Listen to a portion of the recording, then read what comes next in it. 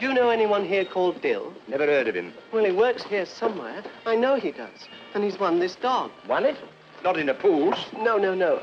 I'm from the Detective Story Weekly, a crime magazine, you know. And we ran a big contest, and the winner gets a prize of 100 pounds and this genuine pedigree man-hunting bloodhound. I see. And this bloke what you're looking for, uh, he's the winner. Uh, that's right. I've got to present it to him. And if I don't find him soon, I, I shall miss my last train home. I don't know what I'll do then, because nobody will take me in anywhere with a bloodhound. What did you say his name was? Not Dill. That's right.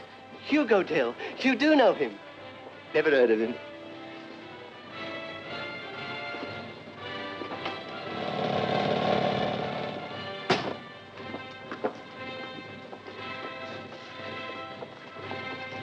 Here, boy.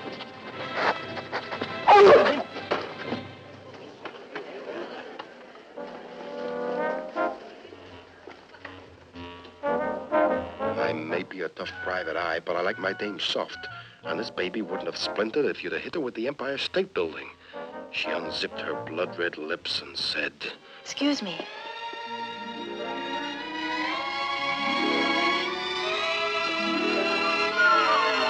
Excuse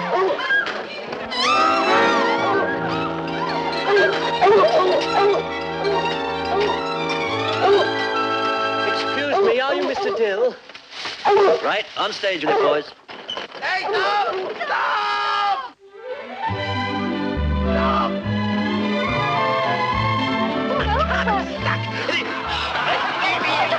I'm getting out!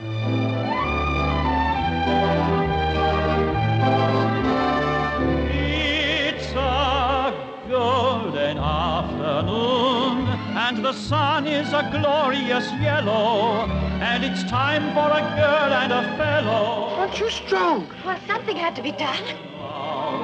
It's a golden afternoon.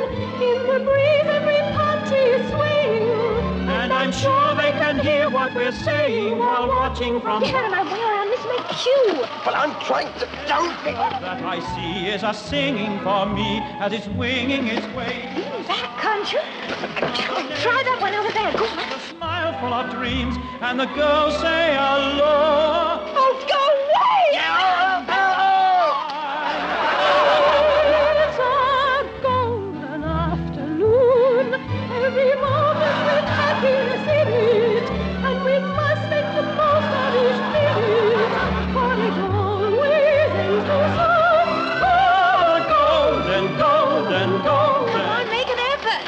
Oh.